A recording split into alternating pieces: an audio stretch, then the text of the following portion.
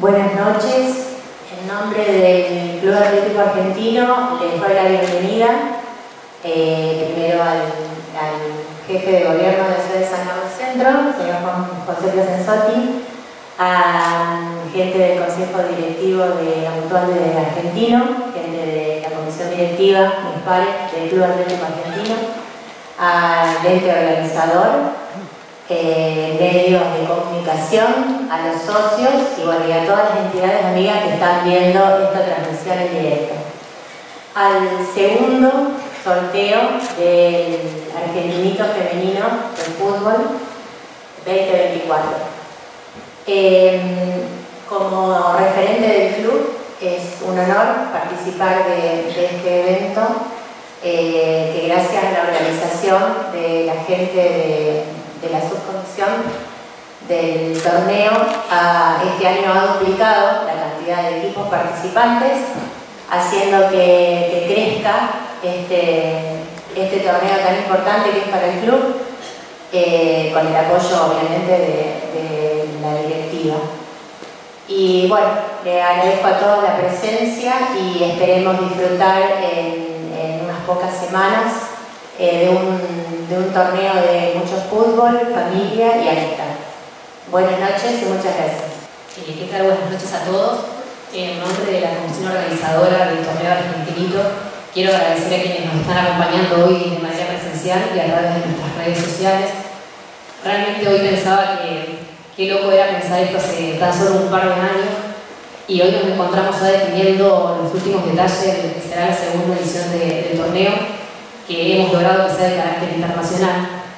Realmente es un orgullo para nosotros que nuestro club sea uno de los eh, que emprendió este, este recorrido y, se animó a apostar a, estos torneos que a nivel nacional no suelen ser muchos. Eh, y eso es gracias al apoyo de todos los colaboradores de la subcomisión de fútbol femenino, del club, tanto dirigentes como el personal, de los aportes de nuestra asociación mutual y del gobierno de San Carlos Centro.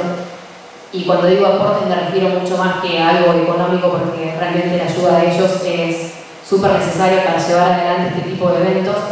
Eh, a los profesores del club, eh, partícipes indispensables.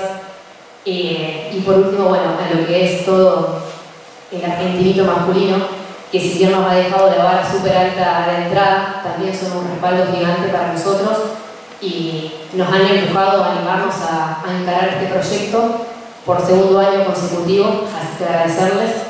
Eh, aprovechemos este espacio para seguir visibilizando nuestra disciplina, para seguir erradicando los estereotipos de género y darle a las chicas la posibilidad de disfrutar y jugar de la disciplina que tanto les gusta.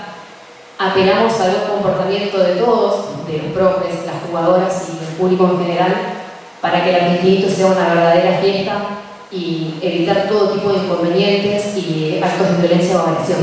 Así que bueno, los esperamos 14 y 15 de septiembre próximo en nuestra ciudad, hermosa ciudad, eh, para disfrutar de, este evento en conjunto. ¿Qué tal? Buenas noches. Muchas gracias por la invitación, Florencia, Norma, por sus palabras. Eh, darles también eh, la bienvenida buenas noches a quienes están siguiendo este sorteo de la transmisión en Instagram del, torneo argentinito femenino.